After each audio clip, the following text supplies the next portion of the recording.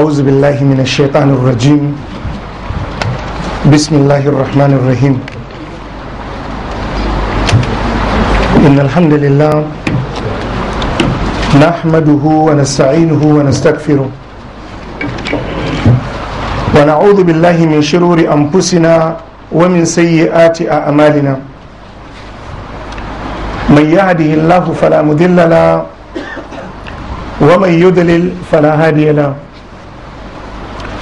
واشهد ان لا اله الا الله وحده لا شريك له واشهد ان محمدا عبده ورسوله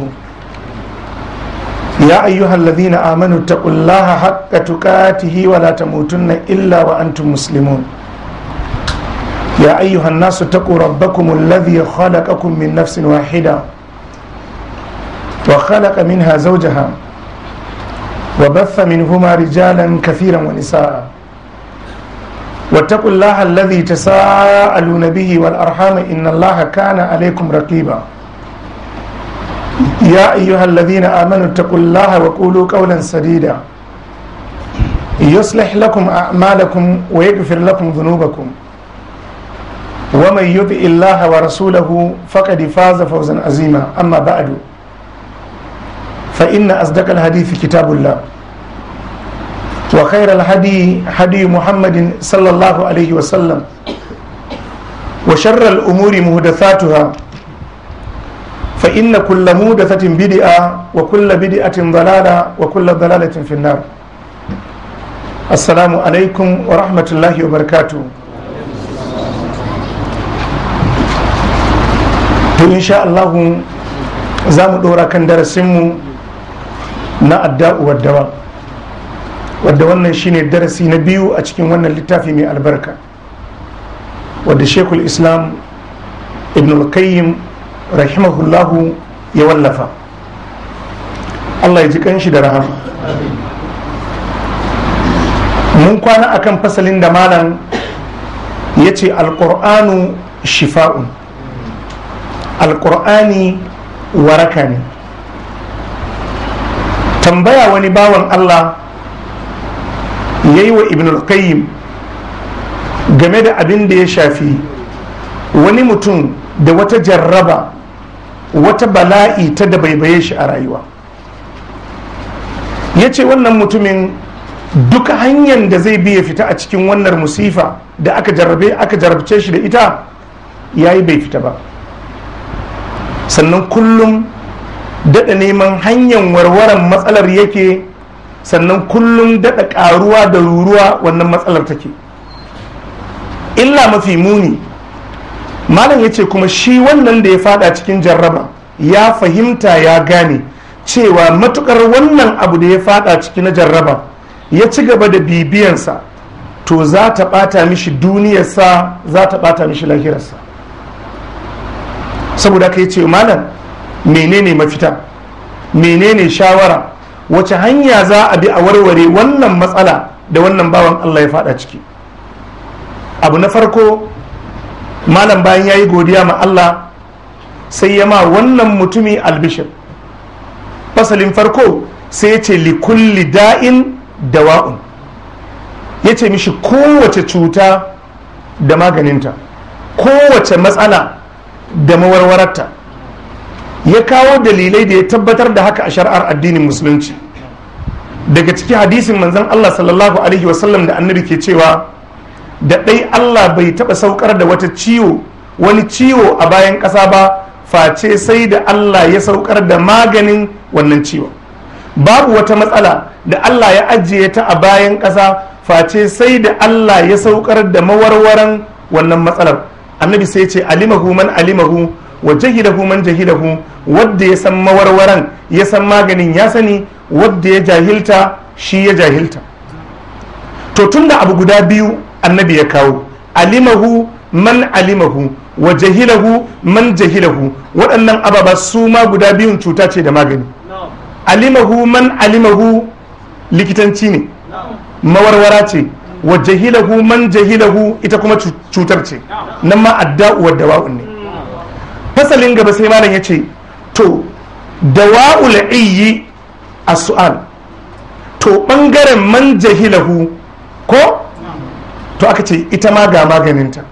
Me maganinta? A su'al abin da mutum bai sani ba in yana so ya fita daga sharrin abun to ya yi tambaya ta hanyar amsar da zai samu da bayani akan abin da aka yi mishi bayani na bai sani ba. To zai samu mawarwara akan abin da bai sani ba. Saboda haka wataƙila shi wancan mutumin da ya fada cikin wannan matsalar bai gamu da mawarwaran matsalarsa ba ce. Saboda haka malam ya kawo mana kissa na hadisin manzan kissar sabon manzan Allah sallallahu alaihi wasallam na tafiya da suka yi. Wani daga cikinsu ya samu rauni a kansa ya tambayi yan uwansa fatawa sai aka samu kuskure aka bashi fatawa a cikin kuskure. Sanadiyar wannan fatawar sai ya mutu. Yanzu jahilci rashin sani cuta ne ko ba cuta ba ne? Domin fasa kan ya tsaya a fasa kai ne amma rashin sanin fatawar kuma sai ya kashe shi. Kenan kun ga jahilci shi ma ne cuta ce. Annabi ya ce kataluhu sun kashe dan uwansu. Da me suka kashe shi? Da fatawan kuskure. Saboda haka malam ya ce maganin jahilci shine tambaya da neman ilimi akan abin da mutum bai sani ba. Fasali na gaba da muka kwana a kansa malam sai ya ce alƙur'anu shifa'un. Shi alƙur'ani waraka ne. Malam sai ya ce warkas wanda alƙur'ani yake yi ya shafi kowane irin ɓangaren waraka. Ɓangaren farko malam ya ce duk abin da ya shafi cutar zuciya cutar ruhi cutar duk abin da yake alaƙa da zuciya alƙur'ani na maganinsa.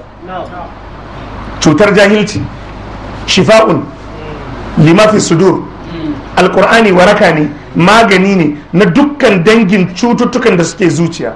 Munafinci cuta ne zina cuta ne sata cuta ne shakka da kokonto akan addini cuta ne. To alkur'ani na maganin shi. Malam sai ce kuma alkur'ani yana maganin cututtukan jiki ma ana magani da alkur'ani a kansu. Malam sai kawo misali na wata tafiya na sahabban manzon Allah sallallahu alaihi wasallam da suka je suka nemi wani masauki suka nemi liyafa a wata anguwa daga cikin anguwannin larabawa ba su ba su ba. Wani abu mai dafi ya ciji sarkin garin ko ya harbi sarkin garin. Suka yi juyin duniyan nan na yadda za su yi magani masarkinsu ba su dace ba. Sai suka zo suka samu waɗannan sahabbai na manzan Allah sallallahu alaihi wasallam suka tambaye su. Ɗaya daga cikin sahabbai ya yi rukuya ma wannan sarki kuma ya samu lafiya. Malam ya kawo ne akan dalili ne. Shi alkur'ani na magani hatta na cutar gangan jiki. Mun fahimta ko?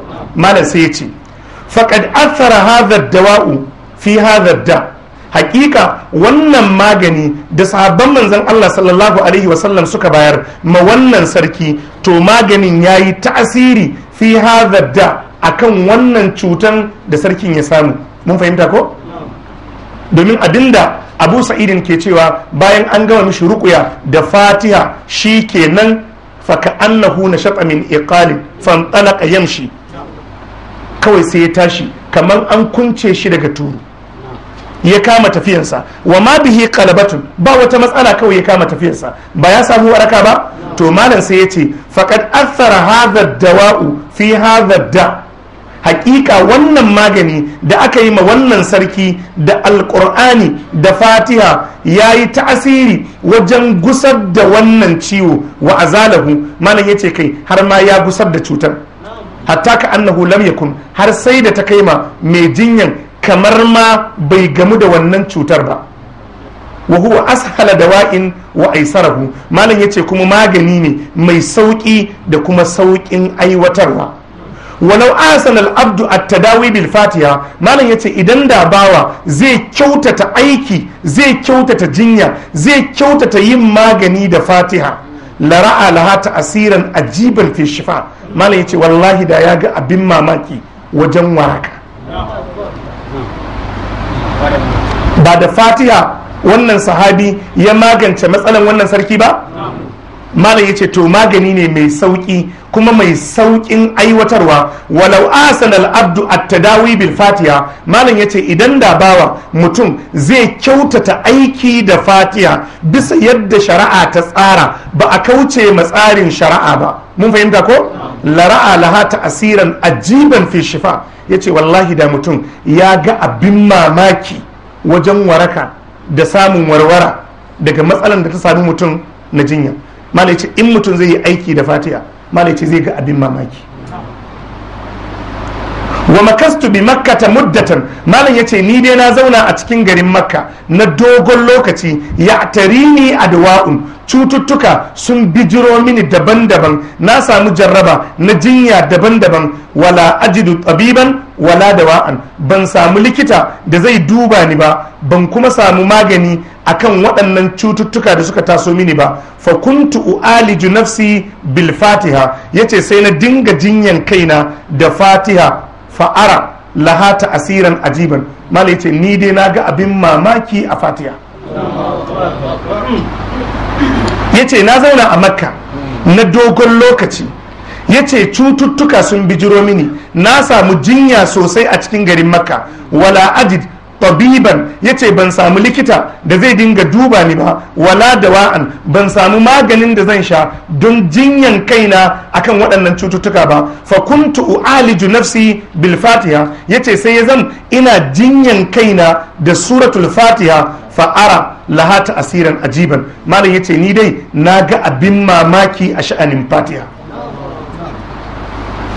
jama'a muna fahimta fa kuntu asifu dhalika liman yashtaki alaman. Ya ce sai ya zan ina kwatanta wannan maganin madu wadda ya zo ya koka mini wani zogi ko raɗaɗi ko wani ciwo da yake damunsa. Ya ce nima sai in nuna mishi yadda zai yi aiki da fatiya fakana kasirun minhum yabra'u sari'an. Da yawa daga cikin waɗanda na kwatanta musu suka yi aiki da fatiya malam ya ce cikin gaugawa suka warke daga matsalolinsu.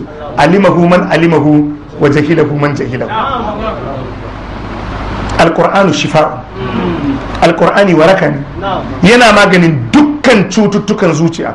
Duk wata matsala da ta baibayi rayuwar dan adam alkur'ani na magance shi. Ibn al-qayyim ya ce alkur'ani na warware cututtuka na magance cututtukan gangan jiki. Malam ya ce ni dai na jarraba fatiha. Yace kuma na sha mamaki akan fatiha. Ya ce sai da ta kai ma duk wanda ya zo ya koka mini wata cuta da take damunsa sai in kwatanta mishi yadda nake aiki da fatiya ya ce nan da nan sai ya samu lafiya.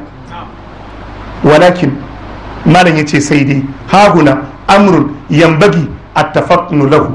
Malam ya ce a daidai nan akwai wani al'amari da ya kamata a faɗaku a tsinkaye da shi. Menene abin? Malam ya ce wahuwa shine ayati aw al adiyati allati yustashfa biha wa yurqa biha dukkan askar da shari'a ta ce bayi su riƙe jama'a muna fahimta yanzu ya maka magana akan fatiha da ta'asirin fatiha to yanzu kuma zai nusar da kai tsarin da ya kamata ba fatiha kawai ba ka yi amfani da duk wani zikirin da Allah da manzan Allah suka ba wa bayi ta yadda za a ci nasara mun fahimta walakin malam ya ce sai dai hahuna a daidai wannan gaba amrun yambagi tafattunu lahu akwai wani al'amari da ya kamata a faɗaku da shi a tsinkaye shi wa huwa al'amarin shine annal azkar dukkan askar ba akwai azkaru sabahi wal masa ba? Akwai zikirori na safe akwai na yamma. Wal ayat akwai ayoyi da shari'a ta ce su ma bayi su karanta su. Annabi ya ce a hadisi wadda ya zo kwanciya ya karanta ayatul kursi ya karanta amanar rasulu su ne ayoyi ayar ƙarshen suratul bakara kenan ko? Annabi ya ce waɗannan ayoyi biyu kafatahu sun ishi mutum kariya har garin allah ya waye. Daga cikin askarus saba akwai irin su bismillahi alladhi la yadurru ma asmihi shay'un fil ardi wala fis sama wa huwa samiul alim. A'udhu bi kalimati llahi tammati min sharri ma khalaqa. Annabi ya ce duk wanda ya karanta waɗannan kafa uku uku duk abin da zai faru a cikin ini na sharri. Annabi ya ce shi ba zai shafe shi ba. Idan yammacinsa kuma ya yi ya karanta waɗannan askar annabi ya ce kuma har garin allah ya waye duk abin da zai taso annabi ya ce ba zai shafe shi ba.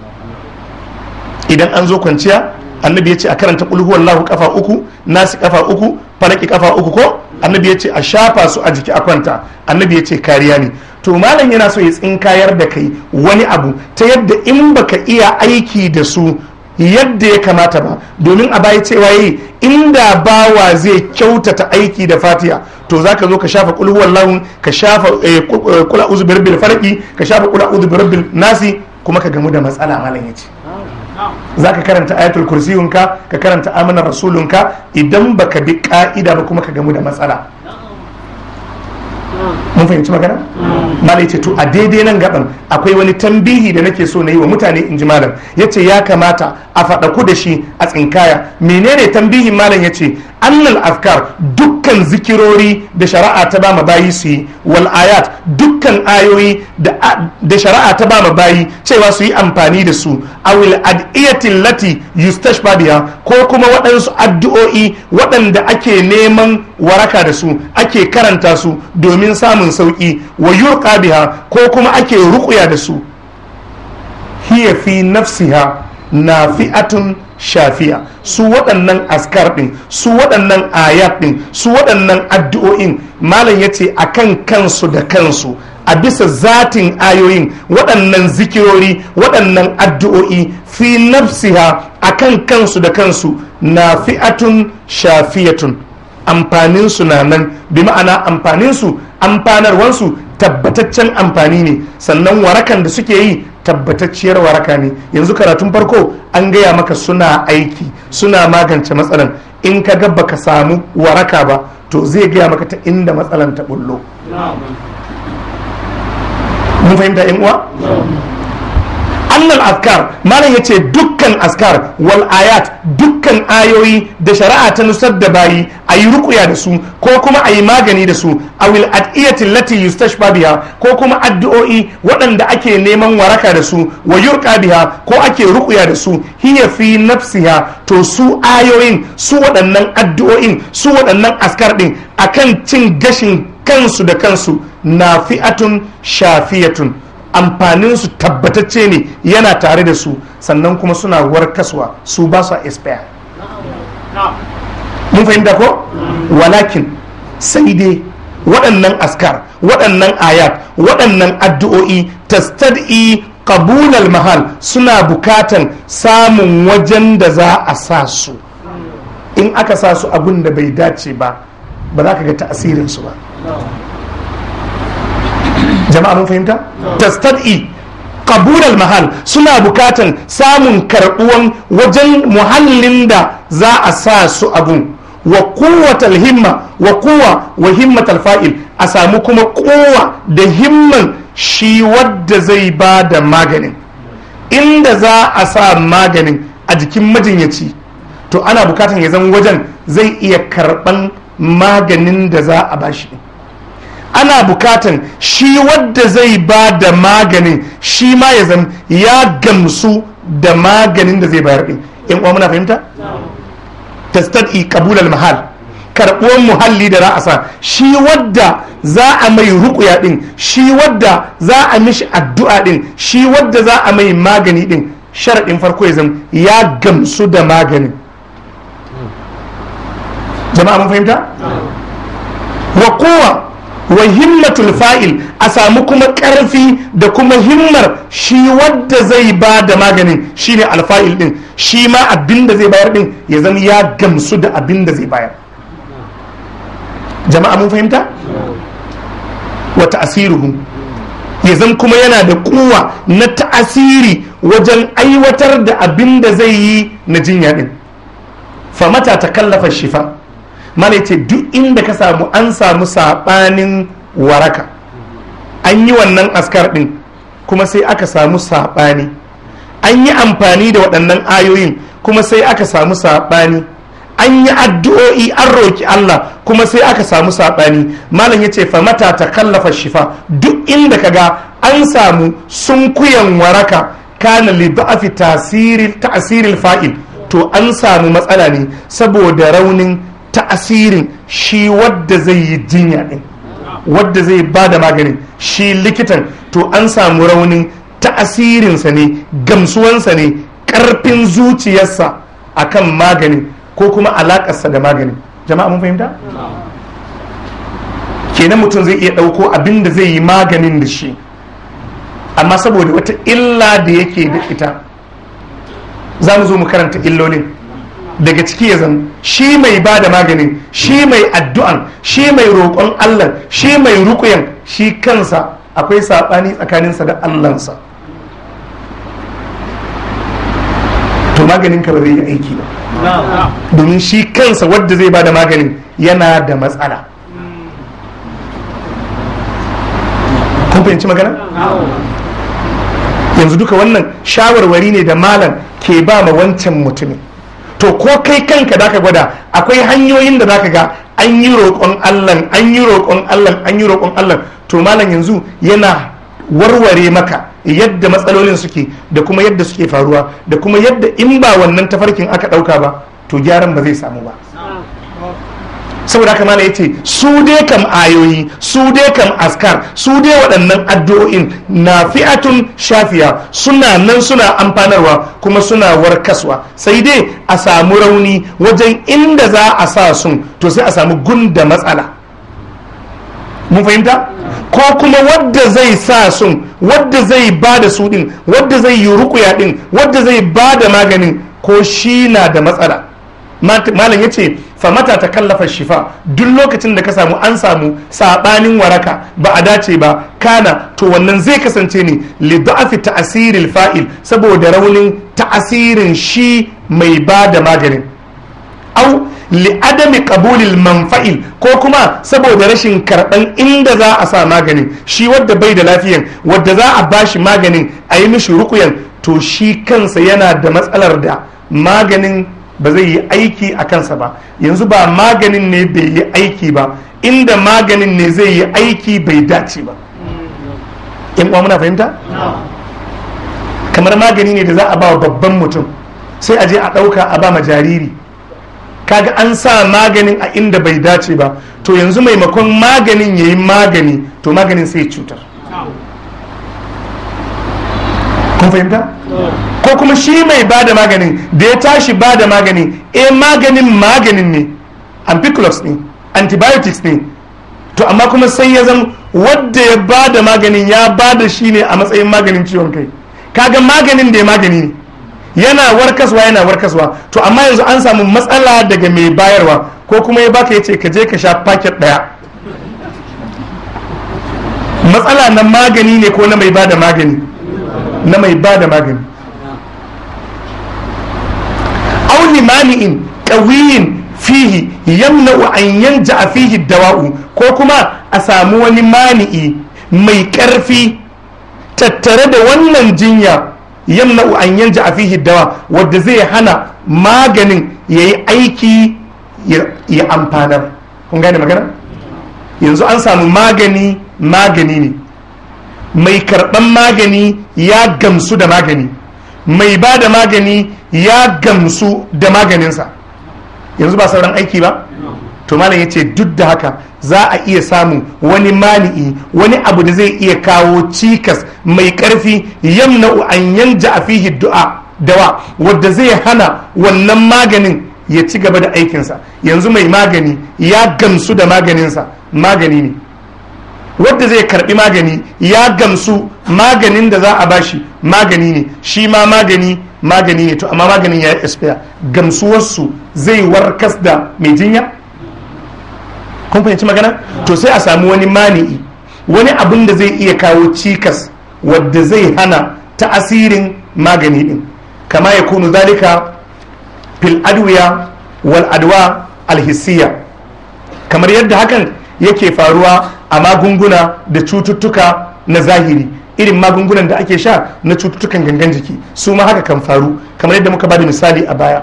A samu a ba da maganin a bisa kuskure. Wannan illa ba ta magani ba ne ta wadda ya ba da magani ne ko kuma shi wadda aka ba magani ya je ya sha maganin ba yadda aka ce mishi ba. To nan ma magani ba zai yi aiki ba. Ba don magani ba mai aiki ba ne ba sai dai don wanda ya sha magani bai bi ka'idar da ya kamata magani mishi aiki ba. Jama'a mun gane ko? Malam ya ce to a magunguna na zahiri da muke shan su domin cututtukan jikunan mu malam ya ce akan samu wannan matsala din.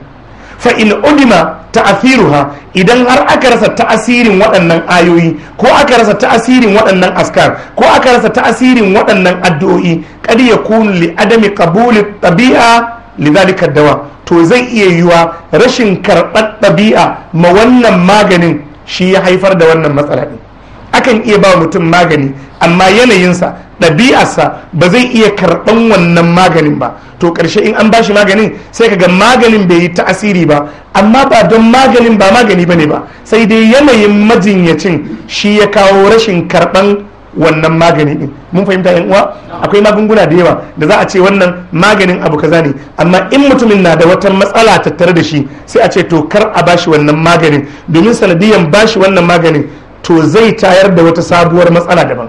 Yanzu kaga matsalar ba ta maganin da za a bashi ba ne amma matsalar daga gangan jikinsa ne ko daga yanayinsa ne yasa wannan magani za a samu matsala da shi. Yan uwa muna fahimta? Fa in udima ta'asiruha idan aka rasa ta'asirin wannan magani bayan an aiwatar da shi kar ya kunu to zai iya kasancewa li adami qabuli tabi'a saboda rashin karɓar ɗabi'ar shi wadda zai sha maganin ne. Lidhalika dawa ga wannan magani da aka bashi wa ya kunu sannan zai iya yiwa a rasa ganin ta'asirin maganin limani in qawiyin saboda wani mani'i wani abin da zai kawo cikas mai ƙarfi yamna'u min itiba'ihi atharahu ya hana maganin zartas da ta'asirinsa akan majinyaci. Yanzu an sha magani babu wata matsala. To amma akwai wani cikas akwai wata matsala wadda wannan matsalar za ta hana maganin shi kuma ya yi aiki akan majinyaci. Malam ya ce duka waɗannan matsaloli suna nan tattare da magani. Mun fahimta ko? Za mu zo mu ba da misalsalu akan irin waɗannan. Duk wannan magana da malam ke mana layi abin da yake so ya gaya maka shine ayoyin idan aka jawo su. In aka zo rukuya din in aka yi addu'o'in akwai matsaloli da za su iya hana ayoyin su yi aiki yadda ya kamata ko addu'o'in su yi aiki yadda ya kamata. Me waɗannan cikas din sai a samu tsakanin mai addu'an da Allah babu alaka mai kyau. Ko a samu mai addu'an maciyin haram ne. To yanzu shi mai addu'a in ya gamsu addu'a addu'a ce. Wadda za a ma addu'a ya gamsu addu'a addu'a ce. Addu'a kuma ita gashin cin da take cin gashin kanta da kanta ita ma magani ce. To amma idan abincin haram ya ratsa a tsakani addu'ar ba za ta yi aiki ba. Shine abin da malam ke gaya maka. Za a iya samun kowane janibi an samu cikakken gamsuwa. To amma sai a samu wani mani'i mai ƙarfi da zai hana ayoyin ya hana waɗannan askar ɗin ya hana waɗannan addu'o'in aiwatar da aikinsu ba don an samu matsala da likitan da zai yi jinya ba ba don an samu matsala da shi wadda za a ma jinya ba wajen gamsuwa ba kuma don an samu matsala da magani ba sai dai akwai wata illa da ta gifta wadda a ka'idar Allah wannan illan takan hana maganin ya yi aiki mun fahimta? fa inna tabi'a domin ɗabi'ar mutum idan aka zati dawa idan ya karɓi magani bi kabulin tam cikakken karɓa. Idan yanayin mutum ɗabi'ar mutum tsarin da Allah ya gina mutum a kai sai ya zama ya dace da irin maganin da ya karɓa ya sha. Sannan jikin ya karɓi maganin cikakken karɓa. Kanan tifa'ul badani bihi bi hasbi zalikal kabul to amfanuwar jiki zai amfana ne gwargwadon yadda ya gamsu da maganin da ya amfani da shi. Kun fahimta yan uwa? Idan ɗabi'ar mutum yanayin mutum da ya samu kansa a ciki sai ya zan ya dace da irin maganin da ya karɓa karɓa kuma cikakken karɓa ya karɓi maganin yana mai jin daɗin maganin. Sannan ɗabi'arsa ta karɓi maganin a gangan jiki. To warakar da zai samu gwargwadon yadda ɗabi'arsa ta karɓi wannan maganin ne. Fakazalikar kalbu malam ya ce to haka misalin yake akan ita ma zuciya. Idan aka zarruka idan zuciya ta karɓi rukuya ta karɓi addu'o'i ta karɓi karatuttuka ta karɓi neman tsari wata awiz ta karɓi addu'o'in neman tsari bi kabulin tam ta karɓe shi kuma da gamsuwa cikakkiyar gamsuwa. Wa kana lirraqi nafsun fa'ala shi ma wanda ya ruqyan yana da gamsasshiyar zuciya akan ruqya da yayi wa himmatun mu'athiratun fi izalati da. Ga kuma himma mai ta'asiri wajen gusar da wannan ciwon. To nan ma za a dace a samu warakar zuciya. In uwa mun fahimci abin da malam ya bayani? Abubuwa ne guda biyu. Magani yana ta'asiri. Malam ce amma a kiyaye waɗansu abubuwa guda uku. Abu na farko dole inda za a sa maganin sai wajen zai iya karɓan maganin. Wadda kuma zai sa maganin shi ma sai ya san hanyar da zai iya sa maganin. Mun fahimci magana?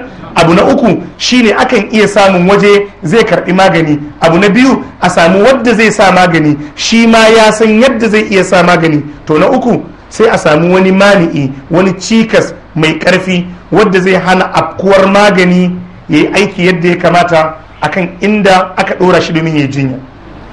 Mun fahimta? Fasali na gaba. Sai malam ya ce mawani'u ijabati du'a. Ababen da suke sa a ƙi karɓan addu'a. Ai abin da muka tashi akai na karatu malam ya ce fa akwai wani tambihi. Akwai wani tambihi. Malam ya ce a tsaya a saurare shi da kyau. Ya ce dukkan askar dukkan ayoyin da Allah ya ce a yi amfani da su ko manzan Allah ya ce a yi amfani da su don neman waraka. Ko kuma addu'o'i da bayin Allah da su yi domin samun waraka ko samun mafita. Malam ya ce idan an kula akwai wani mani'i mai ƙarfi da duk da cewa su akan kansu da kansu magani ne gamsasshen magani to akwai fa mani'in da zai iya hana su yi aiki. To yanzu fasalin gaba malam zai gaya maka abin da zai hana su yi aikin. Yanzu kai ka yarda addu'o'in addu'o'i ne magani ne suna warkaswa mai yi ya gamsu ɗari bisa ɗari. Alƙur'ani magani ne fatiha magani ne. Addu'o'in da za a yi duk kun gamsu addu'a takwabin mu'mini ne. To amma yanzu kuma za a zo a yi addu'ar malam ya ce to akwai abin da zai hana karɓuwarta. Muna fahimta yan uwa? Wa kadhalika addu'a. Malam ya ce to haka nan addu'a. Haka nan roƙon Allah. Fa innahu min aqwal asbab fi daf'il makru. Yana daga cikin manyan sabubba wajen tunkuɗe mummunan abu. Cutuwa fadawa fitina shiga halin kakanika yi ɗaiɗaituwa. Malam ya ce roƙon Allah yana daga cikin mafi ƙarfin ababen da suke tunkuɗe duwar sharri da fitina. Wa husulil maqlub da kuma samun abin da ake buƙata. Roƙon Allah yana daga cikin manyan sabubba na jawo muku dukkan alkhairai da kuke buƙata. Walakin malam ya ce sai dai kad yaktalifu atharuhu anhu akan iya samun sabanin ta'asirin addu'an akan addu'an. Ayi addu'an sannan kuma addu'ar ba ta yi ta'asiri akan abin da aka roki Allah ba.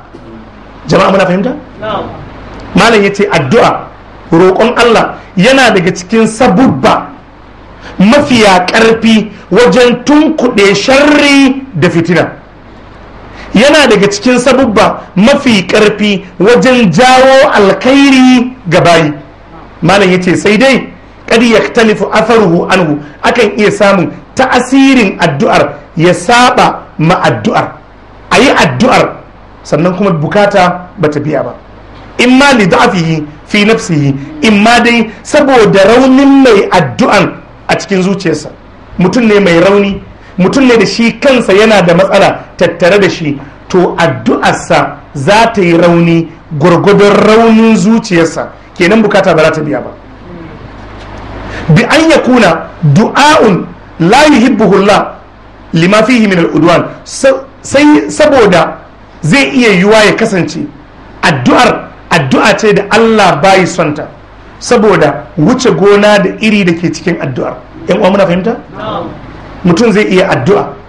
Mana ya ce sai a samu saɓanin biyan buƙata. An roƙi Allah amma buƙata bata biya ba. Me yasa ka faɗi haka malam? Ya ce in ma li da'afihi fi nafsihi ko dai saboda raunin mai addu'an a cikin ransa. Bi an ya kuna du'a'un la yuhibbuhullah ta hanyar da zai zam addu'ar da yayin addu'a ce da Allah bai so lima fihi min al-udwan saboda abin da ke cikin addu'an na wuce gona da iri na ta'addanci. Ka san wani bai iya addu'a ba. Wani idan ya fetto addu'a na rantse da Allah inda Allah zai karɓa ko masara ba ta saura a duniya ba. Haka ne ko ba haka ba? Wani idan ya feso addu'a wallahi inda Allah zai karɓi addu'an ko awaki ba za su zauna lafiya ba. Sai ka samu kuma ya taɓu ne kawai ƙanƙanuwar taɓuwa. Addu'ar idan ka kalli faɗinta duk gidansu ma sai sun shiga cikin addu'a. Ai shine Allah ya ce a cikin alkur'ani wa yad'ul insanu bi sharri du'a'ahu bil khairi. Allah ya ce dan adam yakan ɗaga hannu ya roƙo sharri kamar yadda yake ɗaga hannu ya roƙo alkhairi. Wa yad'ul insanu bi sharri du'a'ahu bil khairi ai ka du'a'ihi bil khairi. Allah ya ce dan adam yakan ɗaga hannu ya roƙo sharri kamar yadda yakan ɗaga hannu ya roƙo alkhairi. Wa kana al-insanu ajula. Allah ya ce domin shi dan adam shaf shaf ne kawai. Saboda haka idan makaranta ta taba shi kafin ya je bakin gate ya gama yi wa kowa addu'a. haka ne ko ba haka Allah ce wa kanal insanu a jula shi dan adam sha yanzu magani yanzu ne. A suratu yunus ai cewa Allah yake yi walau linnasi sharrasti ijalahum bil khairi laqudiya ilaihim ajaluhum. Allah ya ce walau yu'ajjilullahu linnasi walau yu'ajjilullahu linnasi sharrasti ijalahum bil khairi. Allah ya ce idan da Allah na gaugawan karɓan addu'ar sharri da mutane suke yi. Isti'jaluhum bil khair. Irin yadda yake saurin karɓan na alkhairi. Laqudiya ilaihim ajaluhum. Allah ce da yanzu duniya ba kowa. Allah ce inda addu'an da ake na sharri. Allah ya ce ina saurin karɓanta yadda in kun yi addu'an alkhairi nake saurin karɓanta Allah ya ce laqudiya ilaihim ajaluhum. Da yanzu an kare ajalin kowa. Da yanzu duniya ta zan ba kowa in ji Allah. To yanzu kai a duk Najeriya waye ba tsinan ne ba ne? Kun fahimta? An tsine ma kowa albarka. Babu wani wadda mutane ba su tsine mishi albarka ba. Kullum abin da nake faɗa matsalar ƙasar mu wallahi ƙarancin roƙon Allah ne a tattar da ita. Duk wanda zai buɗi baki tsine ma albarka zai duk wanda zai buɗi baki ba wanda zaka ji ya buɗi baki ya faɗi alkhairi akan ƙasar. Haka ne ko baka ba? Wallahi abin da Najeriya take buƙata roƙon Allah. Abinda Najeriya take da karancinsa yanzu ƙarancin roƙon Allah. Waɗanda duk ya kamata su tsaya su roƙi Allah ma ƙasan tsine ma ƙasan albarka suke yanzu kowa ma tsinanni ne a ƙasan. Waye ba tsine mishi ba? Headmaster ma an tsine mishi. Principal ma an tsine mishi. Shugaban yan kasuwa ma an tsine mishi. Mai anguwa ma an tsine mishi. To balle kuma manyan. To yaya ƙasa za ta zauna lafiya? Kuma ya kuya ku kun tsitsine ma junan ku albarka. Kun fahimta? To irin wannan addu'ar cikin ranar Allah Allah bai karɓa Allah bai karɓa annabi ya ce duk addu'ar da aka yi ta wadda take ɗauke da ta'addanci ko wuce gona da iri Allah sai yake karɓar ta. Allah ya samu dace. Malam ya ce bi an yakuna du'a'un la yuhibbuhu Allah. Ko dai ya zama dalilin da ya sa addu'ar ba ta yi ta'asiri ba saboda addu'a ce da Allah bayi son irin wannan addu'ar. Lima fihi min al'udwan saboda abin da ke cikin addu'ar na wuce gona da iri da ta'addanci wa imma li da'afin wa imma li da'afil qalbi ko kuma saboda raunin zuciyar mai addu'ar. Jama'a muna fahimtar matsalar da addu'a take iya samu ko? A samu a yi roƙon Allah. To sai a samu shi mai roƙon Allah akwai matsala tattare da shi. Ɗaya daga cikin matsalolin shine addu'ar da yake yi ba addu'a ce da Allah yake so ba. Abu na biyu ko kuma a samu rauni a zuciyar mai addu'ar. Wa adami iqbalihi ala Allah da rashin fiskantar zu fiskantar da zuciyarsa ga Allah. Lokacin da yake addu'ar sai ya zam bai juyar da zuciyar zuwa ga Allah ba. Bai fiskanci Allah da zuciyarsa ba. Wa jam'iyyatihi alaihi waqtu du'a da kuma rashin tattara zuciyar zuwa ga Allah a lokacin addu'a. To wannan ma addu'a takan gagara samun ta'asiri. Jama'a mun fahimta? Wa imma li da'afil qalbi. Ɗaya daga cikin dalilan da ake samun matsala da addu'a shine a samu raunin zuciya. Wa adami iqbalihi ala da kuma rashin fiskantar zuciyan fiskantar da zuciyan zuwa ga Allah wa jam'iyyatihi alaihi waktu du'a da kuma tattara zuciyan a fuskanci Allah da ita lokacin da ake addu'an ana tunane-tunane lokacin da ake addu'an ana sake-sake hannunsa ne kawai yake sama amma zuciyar tana kasuwa. Hannunsa ne kawai yake sama amma zuciyar tana ofis ko ma ta yi tafiya. To wannan addu'ar bata lokacin ka kawai kake jama'a muna fahimtar abu wato duk lokacin da malam ya zo ya ce a roƙi Allah shine sai kuma ya tsaya ya koya maka yadda ake roƙon Allah ya kuma gaya maka abubuwan da in sun faru za a iya samun matsala a cikin roƙon Allah. Kaga kenan sai ka gyara sai ka ɗauki seti sai ka tafi kai tsaye yadda addu'ar ka za ta samu karɓuwa a wajen Allah. Fa yakunu bi manzilatil qausir rakwi jiddan. Sai addu'ar ta zam kamar baka ce. Kwari ne ko baka malam alkaus baka sai ya zama kamar baka ce wadda bata ɗauru ta yi ɗanɗan ba. Ka san gwargwadon ɗamuwarta gwargwadon fitar da kifiya da za ta yi ko? To baka ce da aka sa lilo da za a saka ko aka saka fatar da za a saka wadda a jikin fatar ake sa kifiya a yi harbi. To amma an ɗaura ta ne loko-loko kaga idan an harba kifiyar ba za ta yi tafiya ba. Malai ce to sai zama addu'ar kamar kifiya ce da aka sa ta a jikin baka bakan da yake yayi loko-loko ba zai iya cilla kifiyar ta tafi ba. Me yasa? Saboda zuciyar da za a roki Allah da ita zuciya ce gafalalliya zuciya ce da take cikin shagala da kuma ɗaiɗaituwa.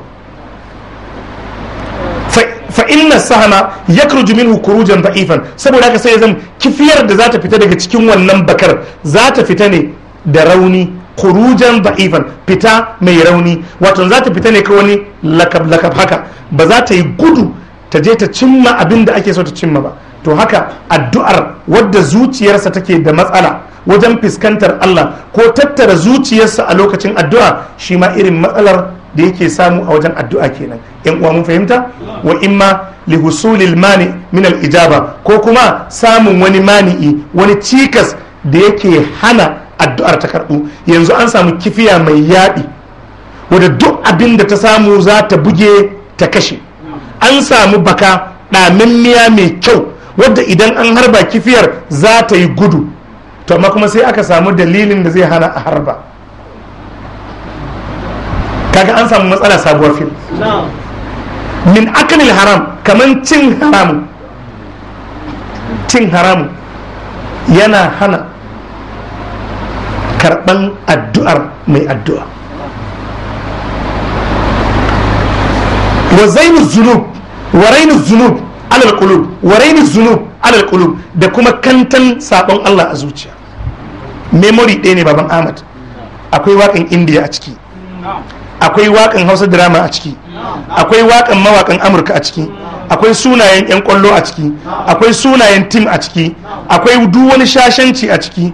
Kuma a ce ana so allah da manzan allah su shiga ciki zai shiga? bai shiga. Ibnu kai ibnu kai ne ke cewa dole sai an zo da wata gireda ta share wannan sharan tukunna wannan ya shiga amma memory ɗaya ba zai taɓa haɗa alƙur'ani da waƙan hausa drama da waƙan indiya da sunayen 'yan ƙwallo da tim ɗin ƙwallo ya kifin ɗinsu a waje ɗaya kuma ya amfani ka ba. Ba zai taɓa yiwa ba.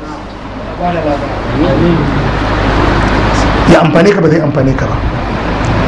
Kaga bai samu muhalli mai kyau ba. Kamar ka je ka san alƙur'ani ne a bola. Allah ya samu dace. Min aklil haram ɗaya daga cikin dalilan da suke hana a amsa addu'ar mutum akwai cin haramun.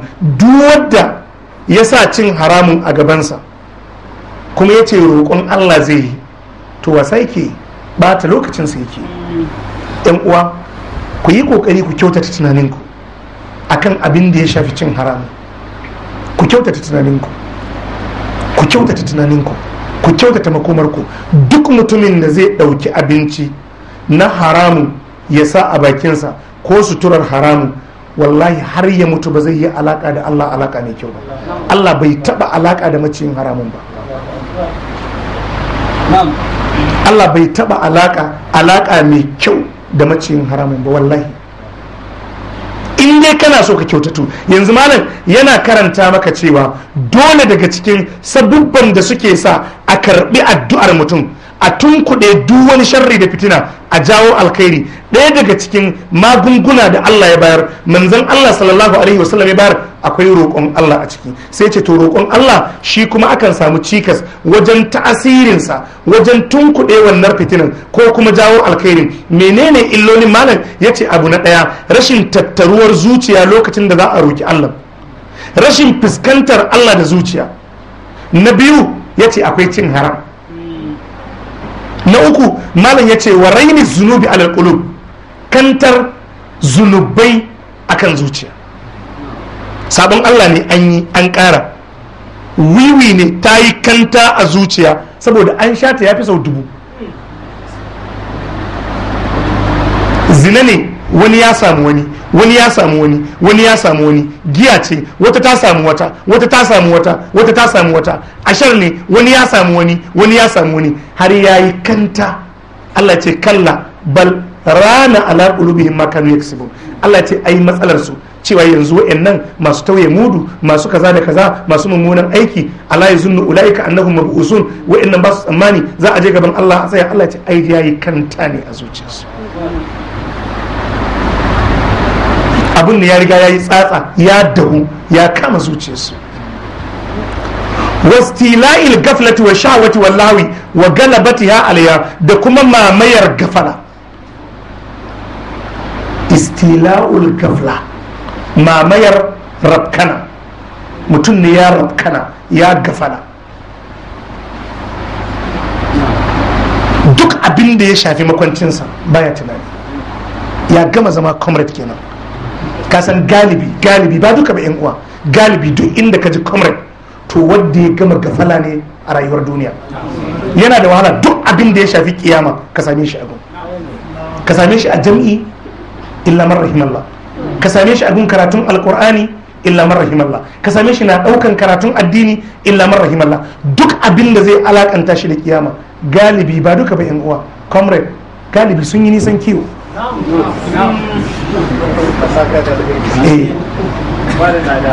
Illa man rahimallah. To an samu istila'ul gafla. Gafala ta riga ta yi mamaya a kansa. Ya rafkana tun da uwarsa ta haife shi a duniya bai taɓa saukan alƙur'ani ko na zuƙu ba. Kuma bai dame shi ba kuma bai ji komai ne. Kuma don bai iya ba ba damuwa ba ne. Duk alƙur'ani ba zai iya ɗaukan falle ɗaya ya karanta daidai ba kuma bai dame shi ba kuma bai jin matsala ce. Kuma bai taba kwana da wai don bai iya ba damuwa ne. Kai dai ka san malam alkur'ani Allah ya saukar da shi izu 60 izu 60 ka mutu baka iya ko izu ɗaya ba kai ka san za ta ɓaci maka. Izu 60 ka mutu baka iya ko izu ɗaya ba ai ƙur'anin ko na gidanku ne baka kyautata mutanen gidanku ba. Izu 60 izu 60 a ce baka iya izu ɗaya ba. Duk abin da duk jaridar da aka rubuta a duniya za ka iya karanta ta amma ba za ka iya ɗaukan ƙur'ani ka karanta daidai ba. Shi ba ƙur'ani duk inda ka gan shi da wasalinsa. A ce dai za ka ɗauki wata jarida ka iya karanta ta tsaf. Amma ba za ka iya ɗaukan ƙur'ani ba ba fa da fassara ba. Ka karanta shi a karance ba za ka iya karantawa daidai ba. Kuma a ce kai wannan abun bai dame ka ba kuma wadda ya yi ka ya yi ɗanka ya yi mahaifiyarka ya maka abinci yake maka ruwan sama shi ya ce ka karanta littafi kuma a ce ba ka yi ba kuma a ce ba ka yi ba. Kuma bai dame ka ba. Ba babba ka yin ba ne matsala. Kuma rashin ma bai dame ka ba ne matsala. Shi bai iya ba bai iya ba. Wai bai iya ikama ba wannan shi ba damuwansa ba ne bai iya kiran sallah ba wannan shi ba damuwansa ba ne. Ba zai iya karanta fatiha daidai ba shi wannan duk ba damuwansa ba ne. To ya zama comrade kenan.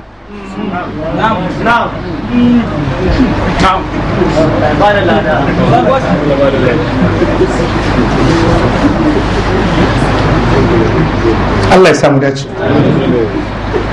Amin. Wastila'il gafla mamayar gafala wa sha'awa mamayar sha'awa na rayuwar duniya. Wallahi mamayar wasanni. Shagala. Sai ya zo ya yi mamaya akan zuciyar mutum. Wallahi wani ba zai farka ba malam. Sai ran da zai bar duniya. Sai ya fahimci abin da ya zo yi a duniya daban shi kuma abin da ya yi daban. Wa galabatiya alaiha da galaban waɗannan ababa akan zuciya. Kama fi mustadrak al-hakim kamar yadda ya zo a cikin al-mustadrak na al-imam hakim. Min hadisi abi hurairata an nabi sallallahu alaihi wa sallam. Hadisin abu huraira daga manzon Allah sallallahu alaihi wa sallam qal annabi ya ce ud'ullaha wa antum muqinuna bil ijaba. Ku roki Allah kuna masu yaqini Allah zai amsa. Ud'ullaha. Annabi ya ce ku dinga roƙon Allah. Wa antum muqinuna bil ijaba. Kuna masu yaqini Allah zai amsa muku addu'ar ku kenan kaga ana buƙatar lokacin da mutum zai roki Allah ya zama zuciyarsa tana da yaƙini akan abin da yake roƙon Allah. Kenan kaga wanda zuciyarsa take rafkane kaga ba ma addu'a yake yi ba.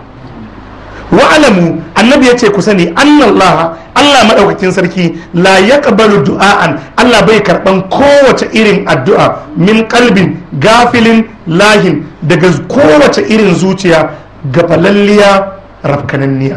Allah bai karɓa wa alamu annabi ya ce ku sani annallaha Allah madaukakin sarki la yaqbalu Allah bayi karɓa du'a'an kowace irin addu'a min kalbin daga kowane irin zuciya gafilin gafalallen zuciya lahin zuciyar da take cikin shagala. Allah bayi karɓa lokacin da ka ɗaga hannunka sai ka halarto da zuciyanka. Lokacin da kake roƙon Allah to kana tadabburin abin da kake roƙon Allah. Allahumma inni as'aluka bi anni ashhadu an la ilaha illa anta. Zuciyarka duka tana tattare akan abin da kake roƙon Allah din. To wannan dalili ne akan ka samu ijaba a cikin addu'arka. Fa hadha dawa'un nafi'un muzinun lidda. To irin wannan addu'a da aka sa yaƙini a cikinta a lokacin roƙon Allah addu'a ce mai amfani kuma mai gusar da cutar da ta sa aka yi addu'an don ita. Walakin malam sai dai ya ce sai dai gaflatul kalbi rafkanar zuciya anillahi gabarin Allah. Lokacin da ake addu'ar zuciya ta rafkana tubtilu quwwatahu takan bata kowa na addu'a din tubtil takan bata shi ta lalata shi ta wargaza shi. Kun fahimci magana? Sai ya zama kawai baki ɗaya babu abin da yake da ta'asiri. Wa kadhalika aklul haram haka nan cin haram. Yubtilu quwwatahu wa yud'ifaha. Yana lalata kowa na roƙon Allah yana raunana roƙon Allah. Saboda haka maciyin haramun yana da matsala a wajen roƙon Allah. Kun fahimci magana? Shi yasa mana ya kawo abun biyu. Akwai wadda shi da ama addu'an. To in yana da wannan matsalar ma addu'ar ba ta ci. Shi ne ma da ce na farko inda za a sa addu'an sai ya zama wajen zai karɓa kun fahimci magana wadda zai yi addu'an shi ma zai karbu to duka wannan cycle din shi maciyin haramun bai da ɗayan biyu a cikinsu. Allah ya sauwake duk wadda ya bata hanyar abincinsa da neman abinci ta hanyar haramu wallahi daidai ne da ya sa fetur makansa ya kunna wuta makansa. Wallahi tallahi. Duk wadda zai ci haramun malam wallahi tallahi ba zai yi alaka da Allah alaka mai kyau ba har ya bar duniya. Ba ruwan Allah da shi. Tsokar jikinsa manzan Allah ya ce Allah ba ruwansa da ita. Kama fi sahihi muslim kamar yadda ya zo a cikin sahihu muslim kamar yadda ya zo a cikin sahihu muslim min hadisi abi hurairata radiyallahu anhu cikin hadisin abu huraira Allah yarda da shi kala ya ce kala rasulullahi sallallahu alaihi wasallam manzon Allah ya ce ya ayyuhan nasu ya ku mutane inna Allah inna Allah tayyibun la yaqbalu illa tayyiba Allah tsarkakekke ne bai karɓan komai. Sai in abin tsarkakekke ne. Wa inna Allah amara almu'minina bima amara bihi almursalin. Allah kuma ya umurci mu'minai da irin abin da ya umurci manzanni da shi. Faqala Allah sai ya ce ya ayyuhar rusulu ya ku manzanni kulu min at-tayyibati ku ci daga tsarkakaka at-tayyibat shine duk abin da yake da tsarki na halal kuma bai cutar da gangan jiki. Ya ayyuhar rusulu Allah ya ce ya ku manzanni kulu min at-tayyibat ku ci daga tsarkakakan ababa wa amalu salihan. Sai ku yi aiki mai kyau. Inni bima ta'amaluna alim. Ni ina ina ganin haka ne ko? Ina da ilimi akan duk abin da kuke aikata. Kun gane magana? Kulu minar tayyibati wa amalu salihan. In baka ci halal ba baka isa ka zama mutumin kirki ba har abada. Ka kuma jarraba. In karatunka ya taba sama daga inda ka fara cin haramu wallahi sai ka lalace. Wallahi tallahi sai ka lalace.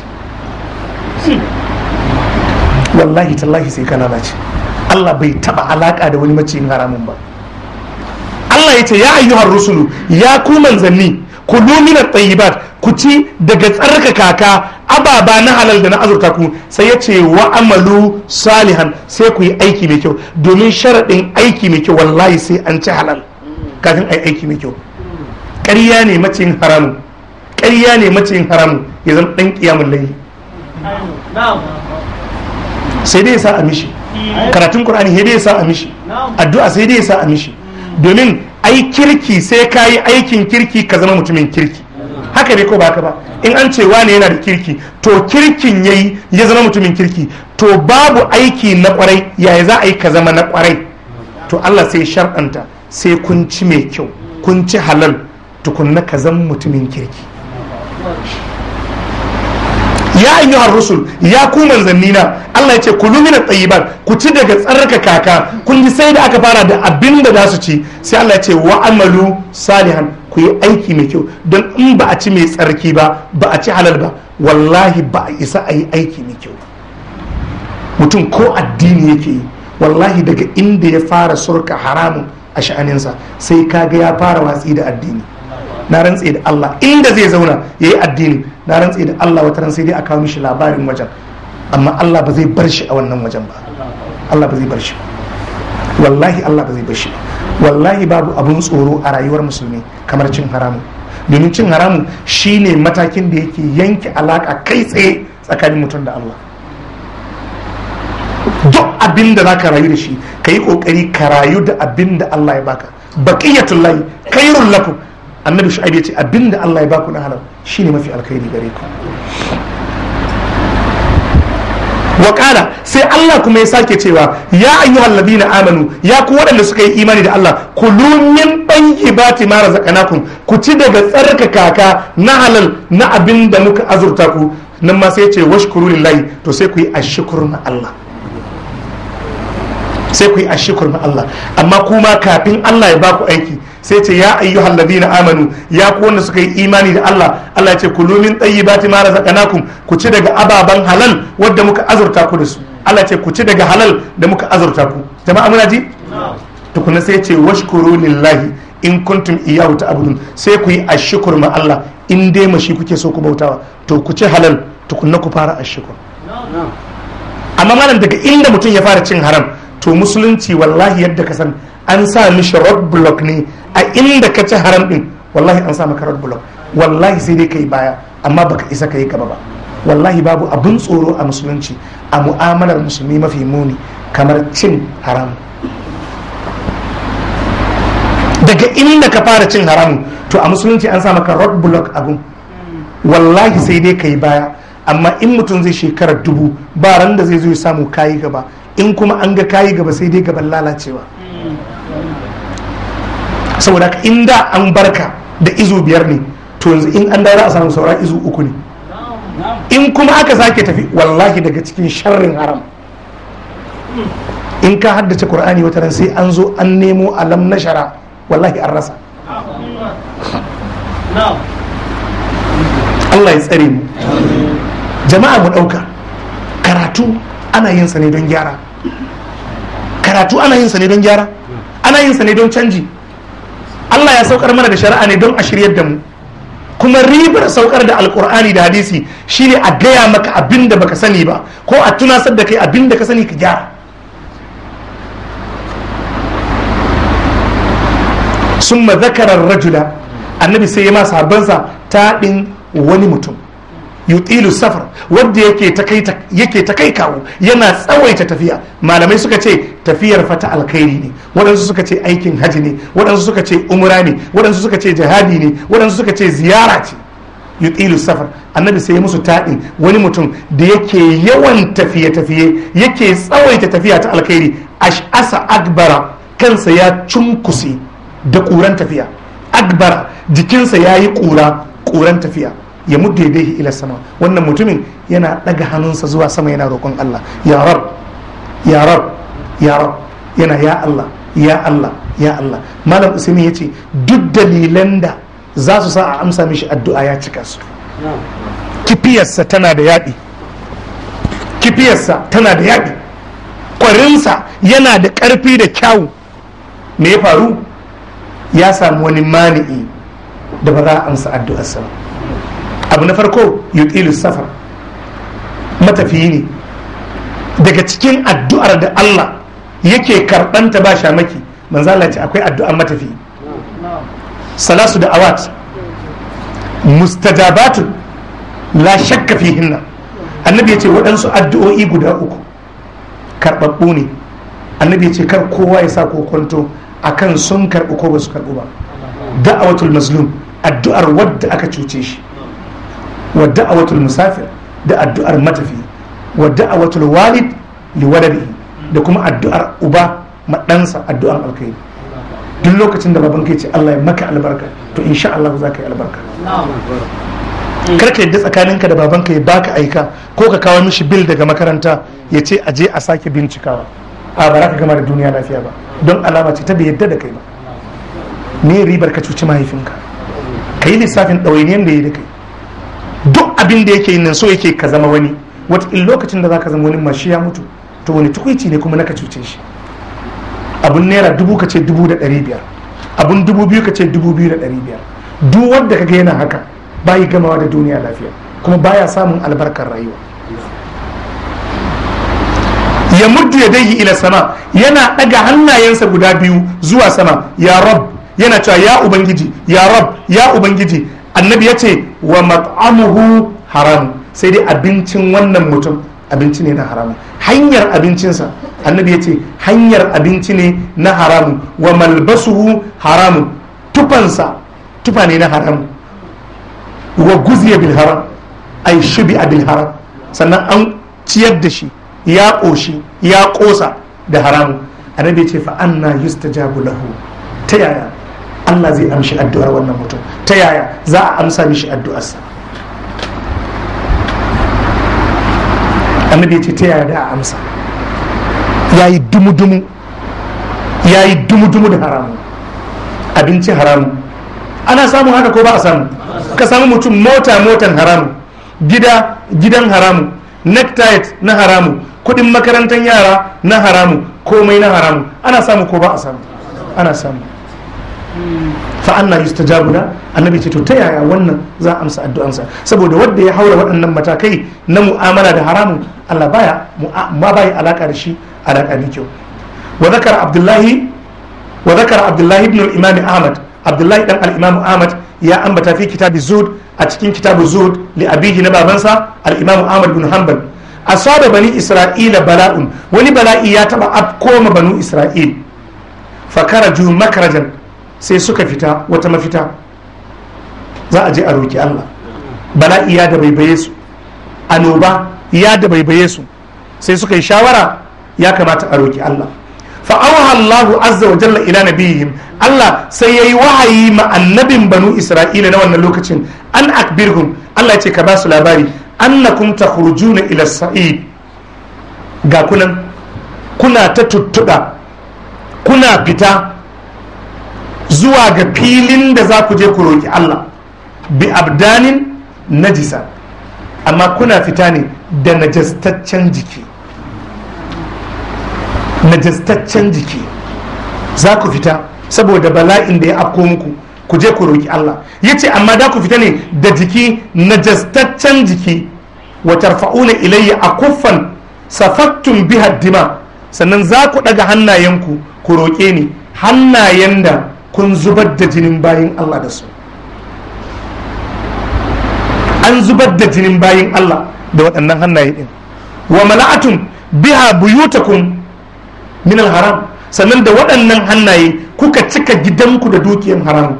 Al'ana al'ana hina da gababi alaikum.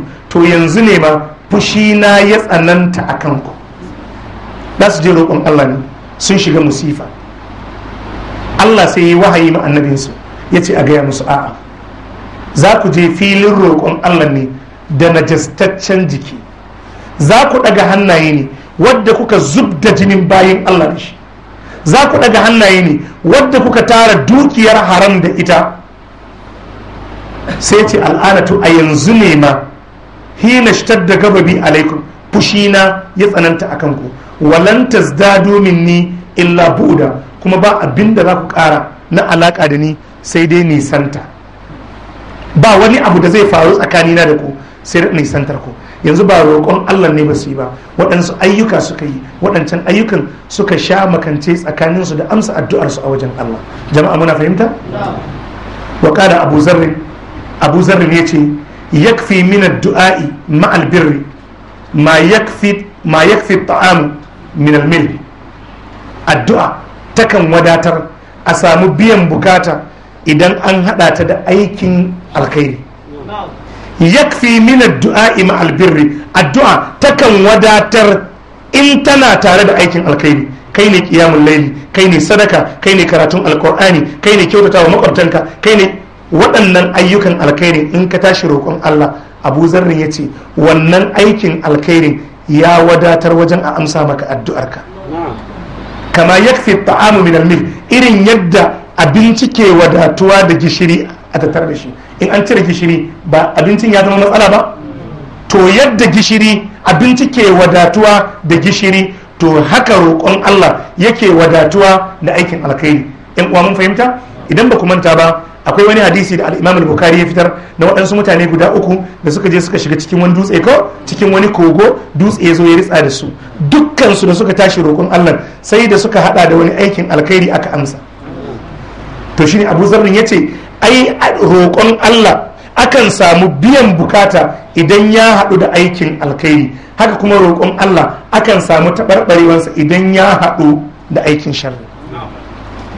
Saboda ka ayyukanmu na alkhairi tsayuwa akan ayyukanmu na alkhairi su za su taimaka mana wajen roƙon mu ya samu shiga. Mun dai ji cewa daga cikin manya-manyan dalilai da ke hana a karɓi addu'ar bawa shine cin haramun raunin zuciyarsa gafalar zuciyarsa rashin haɗuwar zuciyarsa a lokacin da zai roƙi Allah. Allah ya mana albarka. Allah ya samu dace. To za mu kwana a nan sai wani sati idan Allah ya kai mu. Kuma akwai wani ɗan uwa da muke tare da shi a kowane lokaci ya ɗauki nauyin yarin ɗin wannan program na adda'uwar dawa a gidan rediyon brc muna roƙon allah ya sa albarka a cikin dukiyarsa. Allah ya yalwata mishi allah ya sa albarka a cikin zurriyarsa da a ka'ida ma yau ya kamata a fara sa program ɗin ƙarfe biyu da rabi duk ranar juma'a kuma za a sake maimaita shi a ranar litinin ƙarfe tara da rabi na safe. Muna fahimta ko? To amma dai brc sun buga mana waya sun ce sun samu matsala na kayan ayyukansu saboda wuta da aka kawo da ƙarfi shekaran jiya ko jiya ne ya dan taba musu waɗansu kayan ayyukansu wadda har da yanzu ana ƙoƙarin gyarawa. To su ma allah ya sa a dace. Waɗanda suke fuskantar jarabawa muna roƙon allah ya ba su nasara. Allah ya sa albarka a ciki. Fa subhanaka allahumma bihamdika